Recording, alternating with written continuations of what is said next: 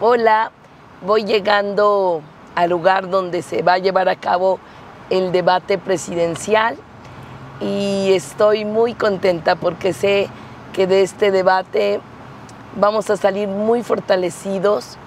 De plano, se necesita este debate solo para confirmar el triunfo de Claudia Sheinbaum. Así que, pues aquí estamos a la espera de que empiece el debate. Te invito a que lo veas hoy a las 8 de la noche.